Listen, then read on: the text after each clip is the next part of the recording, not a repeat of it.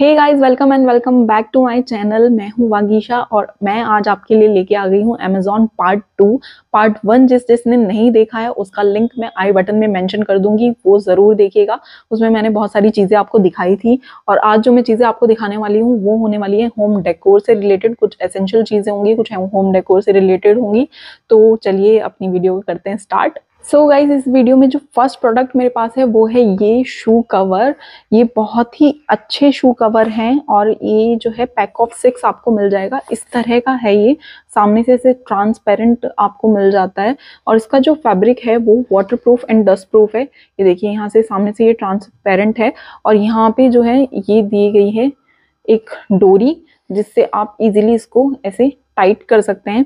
ये ट्रेवल में बहुत यूज़ आते हैं मतलब तब भी आपको अपने फुटवेयर कैरी करने होते हैं तो आप इस तरह के बैग आपके पास होने चाहिए। आई थिंक जो आप इजीली अपने फुटवेयर कैरी कर सकते हैं मतलब जो हम डब्बों में डाल के ले जाते हैं आई थिंक वो बहुत ज़्यादा जगह घेर लेता है। तो इस तरह के आपके पास कवर होने चाहिए शू कवर तो आप इजीली ट्रैवल में अपने शू इसको लेके जा सकते हैं। और ये डस्ट प्रूफ है और वाटर प्रूफ है, इसलिए अगर आप अपने शूज़ अपने कपड़ों में भी रखते हैं तो ये दिक्कत नहीं होगी कि शू गंदे हैं तो हमारे कपड़े भी गंदे हो जाएँगे। ऐसा कुछ नहीं है, अंदर से कोई भी मिट्टी विट्टी बाहर नहीं आने वाली है।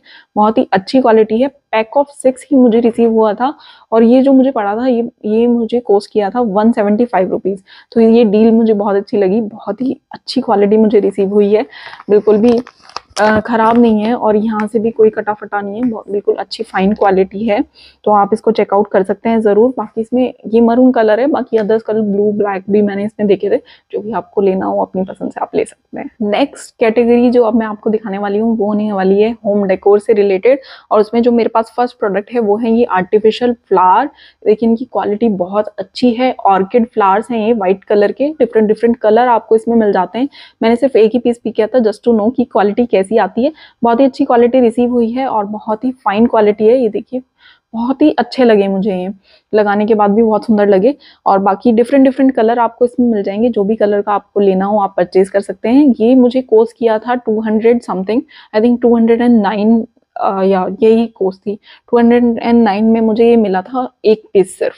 209 काफ़ी कम तो नहीं है, लेकिन क्वालिटी बहुत ही फाइन है तो उसके हिसाब से काफ़ी अच्छा मुझे लगा। सो गाइज़ नेक्स्ट जो प्रोडक्ट मेरे पास है, वो है ये कासा डेकोर का एक सुंदर सा स्टूल बहुत ही सुंदर है ये, काफ़ी स्टडी है। ऊपर का जो सरफेस है वो आपको लकड़ी का मिल जाएगा।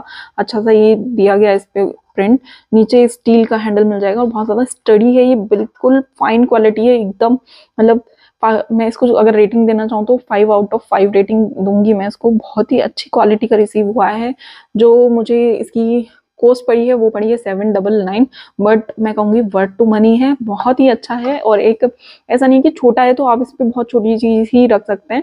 मैंने एक बहुत बड़ा सा प्लांटर इस पर रखा हुआ था, जिसको ये आराम से कैरी कर रहा था और बिल्कुल भी अनइवन भी नहीं है, ये बिल्कुल इवन है और बहुत ही अच्छे से मतलब इस पर कुछ भी रख सकते हैं आप। बहुत ही अच्छा है स्टडी है और मुझे बहुत पसंद आया तो हाईली हाईली रिकमेंडेड आप इसको चेकआउट ज़रूर कीजिएगा, बहुत ही क्यूट भी है।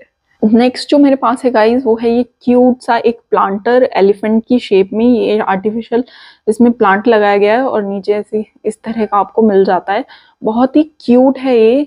और ये है फ्रॉम द वेंट चुंबक, लेकिन मैं अभी चेकआउट कर रही थी तो ये एलिफेंट वाला तो अवेलेबल नहीं है, बाकी कैट वाला अवेलेबल है तो मैं उसका ही लिंक डिस्क्रिप्शन में डाल दूँगी, आप देख लीजिएगा।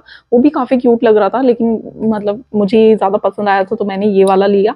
वो भी अच्छा है, उसका लिंक भी मैं डाल दूँगी, और इसका मिल गया तो मैं डाल दूँगी अदरवाइज़ मैंने अभी चेक किया था तो अवेलेबल तो नहीं था तो आप देख लीजिएगा। इसका जो प्राइस मुझे पड़ा था, वो पड़ा था गाइज़ अराउंड फाइव फिफ्टी तो आप देख लीजिएगा, मैंने इसको डिस्काउंट में परचेज किया था। क्वालिटी काफ़ी अच्छी है इसकी और काफ़ी ज़्यादा सुंदर है क्यूट तो है ही अगेन सो गाइज़ नेक्स्ट जो मेरे पास है, वो है ये एक वुडन का वॉल आर्ट देखिए, बहुत ही अच्छा और फाइन क्वालिटी है। ये एक मेटल का लीफ काइंड ऑफ़ इस पे लगाया गया है।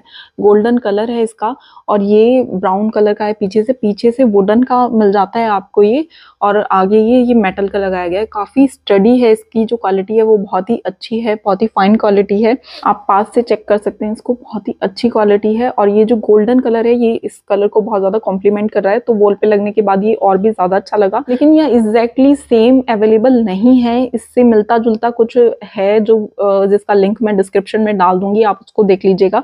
वो भी आई थिंक अच्छा लगेगा, लेकिन सेम वाला अवेलेबल नहीं है सॉरी नेक्स्ट गाइस मेरे पास जो प्रोडक्ट है, वो है ये कुशन कवर ये 12 इंटू एटीन इंचज का साइज़ है. बहुत ही अच्छा इनका फैब्रिक है पॉलिएस्टर फैब्रिक आपको मिल जाएगा.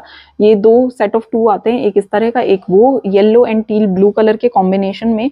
कॉम्बिनेशन बहुत ही अच्छा लग रहा है. आप देख सकते हैं, डलने के बाद भी बहुत ही सुंदर लग रहा है. ये देखिए और एक इस तरह का है, मैंने एक डाल लिया है, एक अभी बचा हुआ है।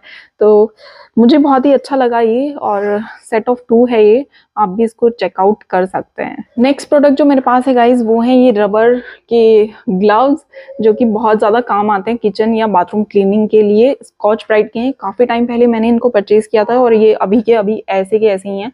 कुछ भी इनका मतलब इधर उधर नहीं हुआ है। क्वालिटी काफ़ी फाइन है, अच्छी है, ये मरून कलर का मिल जाता है। अंदर की तरफ़ से कंफर्ट देने के लिए थोड़ा सा कॉटन का इसमें ये लगाया गया है ताकि आपको हाथ को अंदर से इरिटेट ना करे। इसका जो कोर्स मुझे पड़ा था वो पड़ा था वन डबल फाइव तो काफ़ी अच्छी डील है, आप भी इनको परचेज कर सकते हैं। सो गाइज़ नेक्स्ट जो मेरे पास है वो है ये एक मैट ये जो है रेन मैट है ये, मैंने अपनी बेबी के लिए पिक किया था। इसकी जो लेंथ है वो है सिक्स इंटू फोर इंचेस काफ़ी अच्छी क्वालिटी है। और ये जो है वाटर भी एब्जॉर्ब नहीं करता है। प्ले मैट है ये।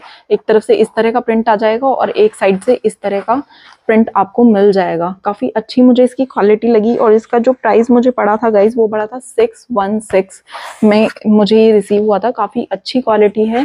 तो प्राइस वाइज ये काफ़ी अच्छा मुझे रिसीव हुआ है। आप भी इसको चेकआउट ज़रूर कर सकते हैं। नेक्स्ट है मेरे पास गाइज़ ये प्लांटर के लिए मतलब प्लांट्स में पानी देने के लिए वाटरिंग कैन ये फाइव लीटर की कैपेसिटी में मुझे रिसीव हुई है और ये मैंने जो परचेज की है, वो की है फोर डबल नाइन रुपीज़ की। अच्छी क्वालिटी में ये मिल जाती है, काफ़ी स्टडी है, काफ़ी फाइन क्वालिटी है। इसका जो प्लास्टिक है, यहाँ से ओपन होती है, यहाँ से आप इसमें पानी फिल कर सकते हैं और फाइव लीटर की इसकी कैपेसिटी है। काफ़ी अच्छी क्वालिटी है और प्राइस वाइज भी काफ़ी अच्छी है। नेक्स्ट जो मेरे पास है गाइज़ वो है एक ये वेस्ट बेल्ट जो मैंने परचेज करी थी। ये इस तरह की इलास्टिक है, इसमें काफ़ी ज़्यादा स्ट्रेचेबल है और ये सिल्वर कलर का बकल आपको यहाँ पे मिल जाता है और ये कुछ लेदर यहाँ पे लगाया गया है। काफ़ी अच्छी इसकी फाइन क्वालिटी है। यहाँ पे ये हुक दिया गया है आई थिंक विजिबल है। ये हुक दिया गया है इसमें ईजिली टक हो जाता है और आप आराम से इसको पहन सकते हैं। पीछे से स्ट्रेचेबल होने के कारण आपकी वेस्ट पे ये इजीली फिट हो जाएगी। ये इस तरह इस तरह से हो जाता है, ये ऐसा कुछ लुक आता है इसका। लेकिन गाइज़ मेरी रिकमेंडेशन ये रहेगी, जिन लोगों को ना बेले फैट है मेरी तरह तो वो इस तरह की बेल्ट ना खरीदें। आई नो कि बहुत ज़्यादा ट्रेंड में है, लेकिन वो इस तरह की बेल्ट खरीदें जिनमें इलास्टिक ना हो। तो आप अपनी वेस्ट के अकॉर्डिंग उनको फिट करके बाँध सकते हैं। जो इस तरह की बेल्ट होती है ना, उसमें क्या होता है कि वो बहुत ही टाइट हो जाती है हमारे बेले पे या वेस्ट पे और हमारा जो बेले फेट है वो बिल्कुल अलग से ही दिखता है। तो मैंने जो एक्सपीरियंस किया है वो यही है कि इस तरह की ना लें जिनको थोड़ा बहुत भी बेले फैट है। अगर कोई स्लिम एंड ट्रिम गर्ल्स हैं, वो इस तरह की बेल्ट परचेज कर सकती हैं, अच्छी लगेगी। जो कोस्ट मुझे पड़ा था वो था फाइव डबल नाइन और ये क्वालिटी काफ़ी फाइन है जिन लोगों को प्रॉब्लम नहीं है इस तरह की बेल्ट पहनने में, वो आराम से परचेज कर सकते हैं तो दिक्कत कुछ नहीं है। क्वालिटी बहुत अच्छी है, बस जो पहले फैट होता है, वो इस तरह की बेल्ट में अलग से हाईलाइट होता है, जो कि अच्छा नहीं लगता है।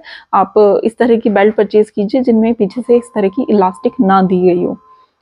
सो so गाइज़ यही था आज का कलेक्शन अगर आपको मेरा कलेक्शन पसंद आया तो प्लीज़ लाइक शेयर सब्सक्राइब करना मत भूलिएगा और बने रहिए मेरे चैनल पर इसी तरह, आगे इसी तरह की वीडियोस देखने के लिए। तब तक के लिए बाय बाय टेक केयर